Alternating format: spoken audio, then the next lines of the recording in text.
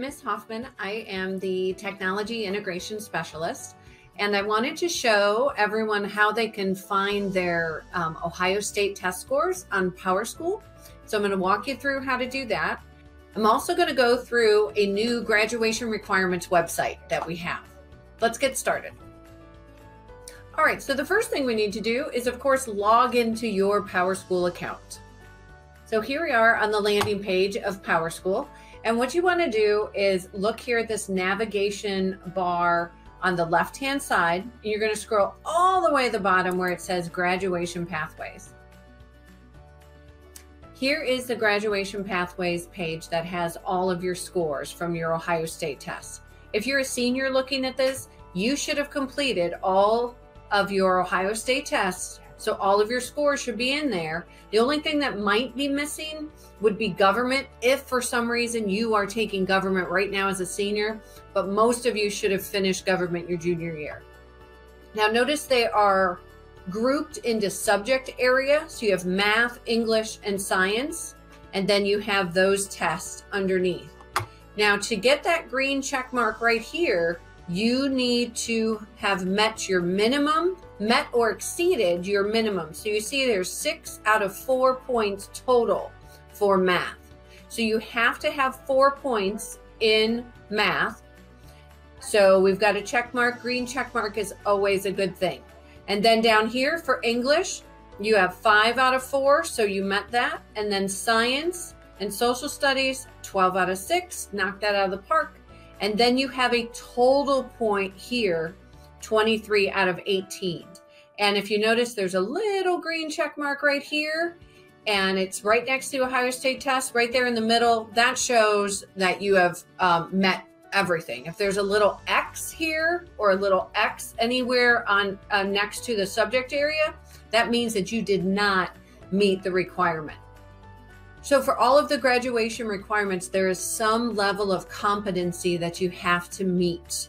So, that is how you um, can check your competency level based on the Ohio State test scores. Now, let's look at the graduation requirements website. So, I am on the Whitmer page here, and I'm going to scroll down here to the Counseling Center. And then if you see here, there are different things under the Counseling Center, and we want to go to graduation requirements. And then right here, you can click on this Whitmer graduation requirements graphic right here. It says click on the image below. So we're going to click there and that will take you to the website.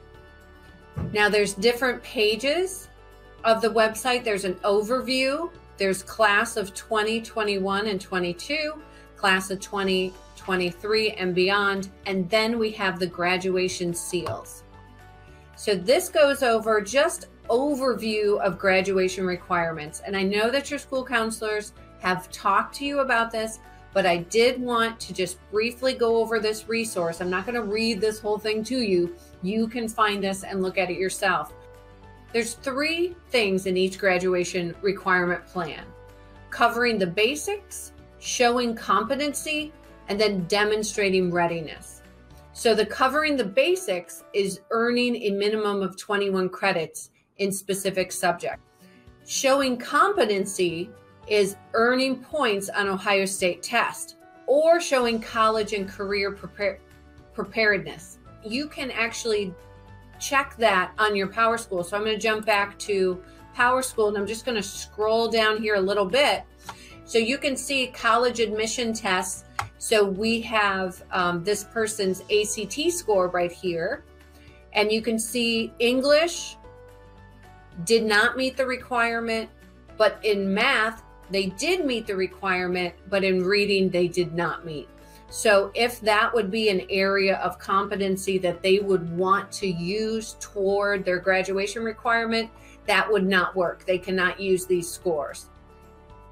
All right, so let's look at the specific graduation requirement. So, if you're a junior or a senior right now, you're going to be looking at the class of 2021 and 22. So, let's click on there and take a look. The first thing you're going to notice on this page is this infographic right here. And I'm going to pop this out. So the way that you can see it as a full page is you just click on this little um, pop out menu. So here you have your graduation requirements sort of laid out in pictures and what you need to do. It's very visual, one piece of paper. Um, so you can look at that and how you cover the basics, show competency, or demonstrate readiness. Now remember, this is just class of 2021 and 2022. Now let's go back to the page. So that, so within that website, that's that document.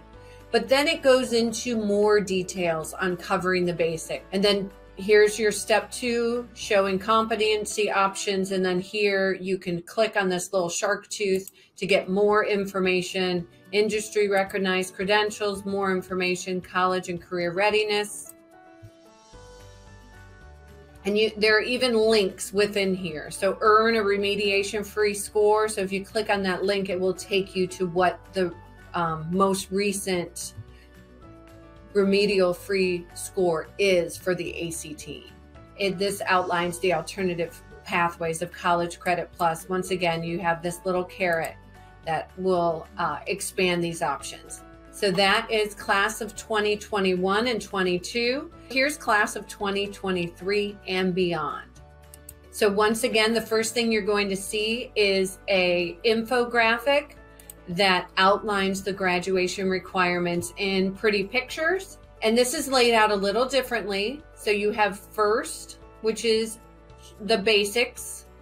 Second, this, these are all the different ways that you need to show competency. And then third are these earn two graduation seals. Next one is show competency. This is earn a competency score on Algebra 1 and English 2. So notice that's a little different for class of 2023 and beyond. That's why it's so important that you are going to this website and you are researching and seeing what you need to graduate. College Credit Plus is another option to show competency to complete a College Credit Plus course or military enlistment. And then the third thing you need to do is to earn your two seals. Once again, if you scroll down, it goes into more detail on the different um, requirements. And right here, real big, starting in 2023, you'll also have to earn two seals. If you notice, up here at the top, there's a whole section on graduation seals. So let's click on that. And here is the graduation seal section of the website. Let's look at the science state seal.